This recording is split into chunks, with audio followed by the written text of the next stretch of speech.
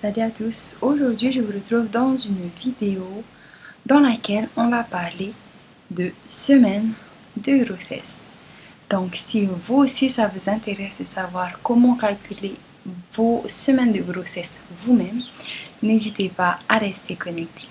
Une grossesse normale dure 39 semaines, on va parler de 41 semaines d'amis nourris tout simplement parce que c'est un arrondi et qu'on ne peut pas vraiment connaître la date exacte de fécondation. Donc voilà. Alors, lorsque vous apprenez que vous êtes enceinte, donc vous allez commencer à avoir des symptômes, vous allez commencer à avoir mal au bas-ventre, vous allez commencer à vous sentir bizarre, à vouloir moins ou plus manger, vous allez manger des choses bizarres que vous ne mangez jamais, vous allez vous dire, hum, c'est bizarre, je crois que je suis enceinte. Et donc, vous allez aller prendre un test de grossesse.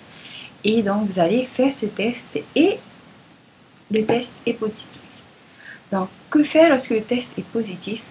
Pour moi, la première chose que j'ai toujours voulu faire était de savoir j'avais combien de mois, combien de semaines? Car finalement, euh, c'est le plus important. Voilà, pour savoir euh, quand est-ce qu'on va accoucher, quelle est la date, pour tout se préparer et tout. Donc, je n'ai euh, jamais en fait su comment faire jusqu'à, euh, je pense, au début de cette année. Donc voilà, je vous partage ce que j'ai finalement compris. Voilà, après deux bébés. Lorsque vous avez donc votre test de grossesse, vous savez que vous êtes enceinte. La meilleure façon de savoir combien de semaines vous avez, c'est tout simplement de vous souvenir quand étaient vos dernières règles. Donc, lorsque vous savez quand étaient vos dernières règles, vous allez venir voir le premier jour de celle-ci. Et à partir du premier jour, vous allez tout simplement compter les jours jusqu'à aujourd'hui et ça va vous donner exactement le nombre de jours, donc le nombre de semaines ou le nombre de mois que vous avez. Il faut savoir que ici on parle de semaines d'aménorrhée, donc euh, vous n'êtes pas tombé enceinte le premier jour de vos dernières règles, évidemment, vous êtes tombé enceinte deux semaines après, c'est-à-dire à votre euh, fécondation, votre période en fait de fertilité.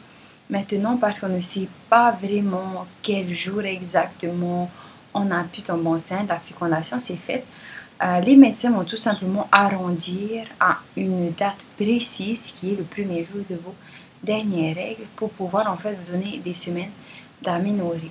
Évidemment, on a beaucoup plus de semaines d'aménorrhée, on en a deux de plus, puisque la fécondation vient deux semaines après euh, le début des règles.